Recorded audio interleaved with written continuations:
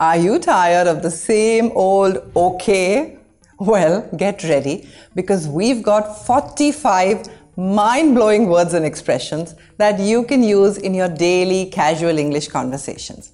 And this video is different from any other YouTube lesson that you're going to come across because we are not going to discuss the mundane okay, sure, absolutely, and all right. Instead, we have some epic vocabulary which sounds very modern and Gen Z. So, buckle up for some language swag and let's get going. Hey, this is Chetna and you're on Chet Chat. And this content is also available on Spotify as a podcast on Skill Up with Chet Chat.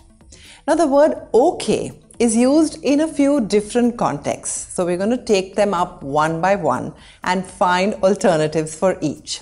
So, first, okay is used to agree with someone. Like, do you want to come with me? Okay, nah. How about you try saying this instead? You bet or bet. Example Want to try the new roller coaster? Bet I'm game. I'm ready to scream my lungs out. It's used to express agreement or confirmation. It's like saying, I'm in or I'm ready. Example Hey, wanna grab some pizza later? Bet I'm starving. sure thing. Sure thing is semi formal and I like using it. Example Wanna come to the mall with me? Sure thing. What time do you wanna go? Sure thing. For sure. For sure is short for for sure. It means definitely or without a doubt. Example Are you coming to the party tonight? For sure, wouldn't miss it. Or for sure, dude, let's grab some pizza and chillax today. Defo. Defo is short for definitely. When you want to sort of wholeheartedly agree with something, you can say, Defo, count me in for that group study plan. Or, did you like the movie? Defo, it was so good. Okie dokie. Okie dokie is playful and an informal expression, and it's a rhyming variation of the word okay. Okie dokie, let's plan that road trip. It sounds very cute, and I especially like the Simpsons version of it. Oakley dokley. So you can say okie dokie or oakley dokley. So, okay, I'm just like putting a disclaimer here. Okay, these expressions are certainly going to make you sound very cool in your friend circle. But be a little careful when you're using them in formal written English communication. Okay? I'm game. I'm all for it. Example Beach volleyball, anyone? I'm game. Time to show off my killer serves. I'm game or I'm all for it. Or anyone for an after dinner drive to the lake? Yeah, I'm game. Sounds cool. Or I'm all for it. Obvi. Obvi is short for obviously. Obvi. Sometimes you want to say yes, and it is quite obvious that the answer will be yes. You can say, Obvi, she is going to win the election. Everyone loves her. Or, Obvi, I need an umbrella. It's pouring outside. Hundo P, short for 100% and it means completely or without a doubt. Example Did you enjoy the movie? Hundo P, it was awesome. Or simply, I'm Hundo P on board for that epic adventure. Let's go explore and live our best lives. Hundo P, or you could just say 100%. Count me in or sign me up. You can use this one in semi formal situations. Let's take an example. Movie night with endless snacks and cozy blankets? Sign me up or count me in. Or, hey, there's a new sushi place opening downtown. Are you interested? Absolutely. Count me in for some fresh sushi rolls. By the way, I love sushi. Any sushi lovers in the audience? Show me some love. Yes. Yes is different from yes. It's like yes. Example I found an extra ticket to the concert. Do you want to come with me? To which you can say, Yes, I'm a huge fan of that band. I wouldn't miss it for anything in the world. My thoughts exactly. You can use this in formal situations. Let's say your sibling says to you, I wish we could just stay home and binge watch our favorite show. You say, My thoughts exactly. Let's cancel all plans and have a cozy night in. I'll get the popcorn ready. My thoughts exactly.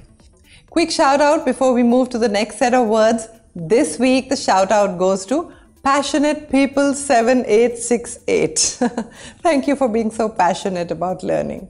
And if you want a shout out, you know what to do. You've got to leave me a message with the hashtag ChetChatters.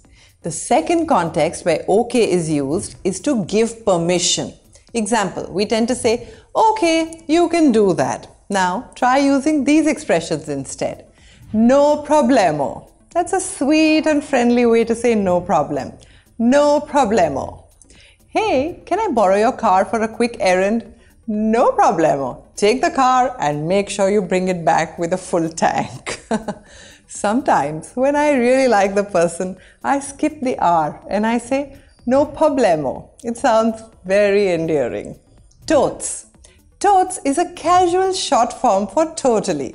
Can I have a bite of your ice cream? Totes, help yourself. Or, did you enjoy the movie last night? Oh, totes, it was hilarious from start to finish. Go ahead, go for it. This is like saying, go forward with your plans. Example, I have an idea for a new project. Can I run it by you? Go ahead, I'm all ears. This is formal and you can actually use this in business settings. By the way, if you want to know the meaning of advanced phrases like I'm all ears, then I've recently done a lesson on that and I'm going to share a link with you. Dive in, take the plunge. This one is semi formal and it's like saying jump right in. I've been thinking about doing my own startup. You? Dive in, follow your dreams, and take the plunge. I believe with you. It's all yours. The stage is yours. This, once again, can be used in formal, semi formal situations. Let's say the teacher says, Who wants to present first? You tell your friends, It's all yours. The stage is yours to shine. Knock their socks off with your amazing presentation. Knock their socks off, by the way, is another great phrase to use. And if you know what that means, then leave me a comment below. Permission granted. Let's say your friend says, Can I borrow your guitar for the weekend? You say, Permission granted, Captain. Take good care of it and rock on. Adding the captain makes it a little cheeky and interesting. Now, my dear students, if you're finding this content useful, then I want you to press that like button and don't forget to comment below with your favorite words out of this mega list of 45. Now, the third type of context in which we tend to use the word okay is to ask for permission. For example, is it okay for me to do this? So let's try using these wowtastic expressions instead. Mind if I do? This one is often used in a light-hearted or a humorous context. Wow, those brownies look amazing. Mind if I do? It's different from mind if I take some cookies. This one is mind if I do. Notice that they're not actually doing anything. But mind if I do is like it's like a casual and friendly way to ask permission to join into an activity. And by the way, I just got hungry talking about brownies. Yummy. Is it cool if I? I saw your book collection. Is it cool if I borrow one? Is it cool if I adds a touch of modernity and liveliness to the dialogue? It kind of makes it more engaging and fun. I found this great hiking trail nearby. Is it cool if I borrow your hiking boots? Would it be lit if I? Example, I'm thinking of throwing a beach party this weekend. Would it be lit if I invited everyone? Would it be lit if I?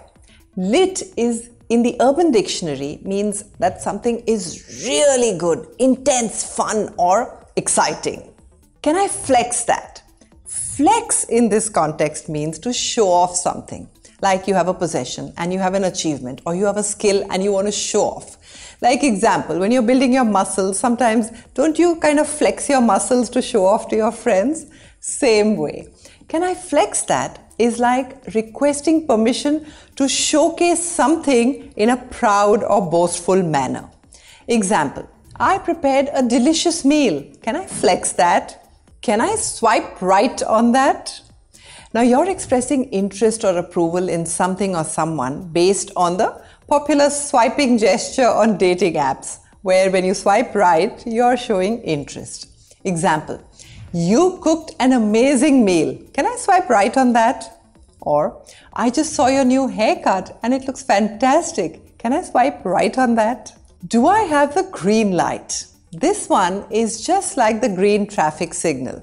Do I have the green light means can I go? Example, I finished my part of the project. Do I have the green light to submit it? Or, I want to invite some friends over. Do I have the green light to host a small gathering? Now you can always say, is it green lit? So, do I have the green light or is it green lit? Am I good to go? The cab has arrived. Are we good to go? Or I've reviewed my notes for the exam. Am I good to go? Or if someone asks you, is everything ready? Shall we proceed to the next step? You can say, yeah, we're good to go. Can we roll with it? Example. Um, I have a suggestion to make for an event uh, to make it more engaging. Can we roll with it? Can we roll with it means can we go ahead? I have an idea for a team project. Can we roll with it? Am I cleared for takeoff? This is pilot lingo, like roger that or copy that. Am I cleared for takeoff? Do I have the permission to start something? Example, I've prepared my presentation. Am I cleared for takeoff? Can I snag that? The word snag means to grab, to capture, or to obtain something quickly. It's kind of often used in casual conversations to ask if you can have something or you can borrow something. Example, those concert tickets sold out so fast. Can I snag one if you have an extra? Or, I love your playlist. Can I snag that song for my own collection? Now, the fourth context in which we use the word okay is to say it's average, it's not great, it's just okay, passable. Passable comes from the word pass, meaning this will pass. It's average, it's not great or outstanding, but it's adequate. Literally, when we say it's okay ish, this is what we mean. Example, her singing skills are passable. She can carry a tune, but well, she's not a professional singer. It's chill. Chill is really common and used a lot. It's chill means it's relaxed and calm and there's nothing to stress about. We can take our time. It's chill. There's no need to rush. Or I asked my boss if I could leave early and he was like, yeah, it's chill. Middle of the road. Now imagine that there's a road and it's divided into multiple lanes. Now, when you're in the middle, middle lane, it's kind of a neutral or moderate position. You're neither going too fast nor too slow. In a figurative sense, middle of the road refers to something that is average, moderate, or lacking extremes. Example, their ideas were middle of the road, conforming to the majority, but not really revolutionary. Meh, it'll do. Meh has a Yiddish origin and it means meh, like indifference or lack of enthusiasm. It'll do implies that something is acceptable, uh, sufficient, but not exceptional or outstanding. Example Her response to the proposal was lukewarm at best, a meh, it'll do kind of reaction. Now, five, we sometimes use okay to say it's good this is not very common, but some of my students look for words to use when they are enthusiastic about something, almost like saying, it's good. So I'm going to give you some words in that context as well. It's Gucci. It's Gucci, derived from the brand name. It means good, great, or all good. Example Hey, can you finish the report by tomorrow? Gucci, I'll get it done. Or my sister is so Gucci, she gave me the new PS5. It's fire or it's on fire. This one is used to describe something which is exceptional or impressive or high quality. Example, have you tried the new restaurant downtown? Their pizza is fire. Or she posted a picture on Instagram and her outfit is fire. I love her style. You can say it's fire or it's on fire. It's solid. Solid. It's commonly used to indicate when something is good, reliable, trustworthy. I just tried this new restaurant and their food is solid. You should definitely check it out. Or therefore check it out. I've been using this phone for a while and I have to say it's solid. No issues at all. It's legit. Legit is a slang derived from the word legitimate. And we use it to say that something is authentic, genuine, or true. For example, I just tasted this homemade cake and it's legit. It's the best I've ever had. It's dope. Dope is slang for something that's cool, excellent, or impressive. I just heard their latest album and it's dope. The beats and lyrics are stupendous, on point. On point is used for something that is accurate, precise, or well executed. You can use this in formal situations. The presentation was on point, or her fashion sense is always on point. She knows how to put together stylish outfits. On fleek. On fleek is used for something that's perfect. It's flawless. It's looking really good. Example, your makeup is on fleek today. It suits you so well. Or the decorations for the party are on fleek. It's going to be a visually stunning event. Okay, in the last context, okay can be used to talk about yourself. I'm okay. How are you doing? I'm okay. But let's try these interesting words instead. I'm vibing. It's like saying, I'm having a good time, I'm enjoying the moment, I'm being in a positive state, in sync with the surrounding. The vibe is matching. I love this music, I'm totally vibing with it. Or we're just hanging out listening to music and vibing. I'm in my element. This traces back to the belief that individuals have like an innate connection with a particular natural element like earth, air, fire, or water. I'm in my element is like saying I'm in an ideal situation or I feel my best. When I'm teaching you English, I'm in my element. I'm living my best life. Now I'm traveling, trying new things, and living my best life. Ooh, travel indeed is the best life, isn't it? I'm slaying. I would use slaying to talk of someone who's performing exceptionally well, or maybe they're achieving their goals with style and flair. Example How are you doing? I nailed that presentation at work today. I'm slaying it. Or her dance moves are incredible. She definitely is slaying the dance floor. Notice that nail that presentation was another cool phrase to use. I'm killing it. Work is going great. I'm killing it. Well, we're not literally killing anything or we're not killing anyone. But this one is often used when you want to talk about extreme confidence, success, or like exceptional performance in any area. Example, I aced my exam yesterday. I studied hard and I'm killing it. I'm on cloud nine. Cloud nine is the cumulonimbus cloud, which is higher than most other clouds. So, being on cloud nine literally means to be in a state of extreme happiness, joy, or you know, elation. Got a promotion at work, so I'm on cloud nine. I'm on top of the world. Once again, a phrase that's used to convey a feeling of great happiness, success, or accomplishment, and it's coupled with a feeling of position of power or achievement. Everything is falling into place. I'm on top of the world.